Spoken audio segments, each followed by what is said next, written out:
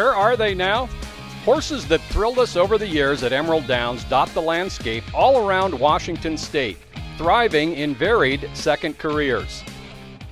It's been nearly 20 years since Queen of Dixie Reds began her racing career, but breeder Barbara Meeking remembers her well. How can she forget?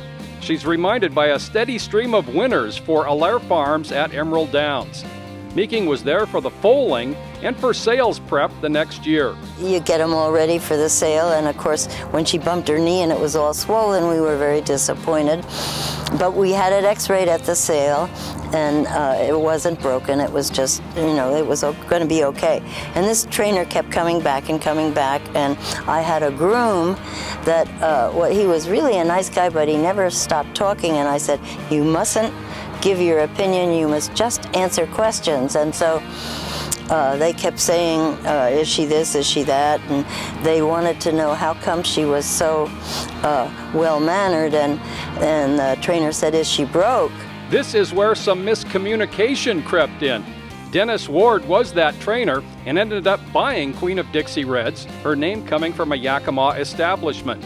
Big body, big, giant-sized quarter horse looking silly. Of course, that's that's the kind of horse I look like when I go, go for the sailing I went. Big quarter horse.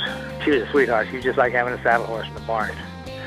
She did everything right. Big, good looking filly. The miscommunication?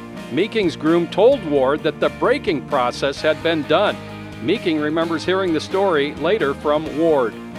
Here's this horse who has never been ridden in her life, never had a saddle on, much less a person. He took her right away from the uh, sale to the racetrack, and uh, they put her on the walker, and she she obeyed that, and then uh, they saddled her up in the stall, and she was a little cinchy, but uh, she came right along when the trainer let her out, and he said, "I'll take her to the gap."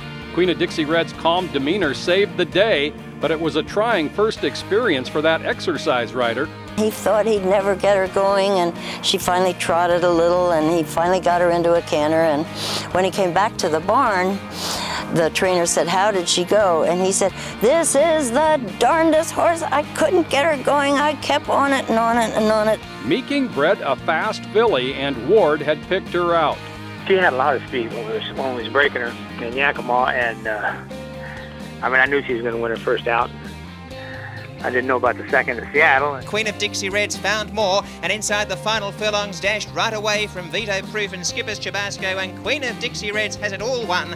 Queen of Dixie Reds a big winner, down to the wire by six lengths. She followed up that allowance score with a runner-up finish to return call in the Children's Hospital Stakes. Queen of Dixie Reds won in California the next year, and when retirement time came, Meeking was first in line. Her first three foals won at Emerald Downs, including Ida Bettabuck, who won seven races here and seven at other tracks too.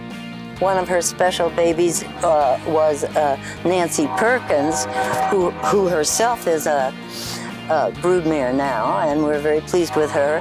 Nancy Perkins flashed her big speed for seven Emerald Downs wins, trained by Barbara's husband, Bob Meeking.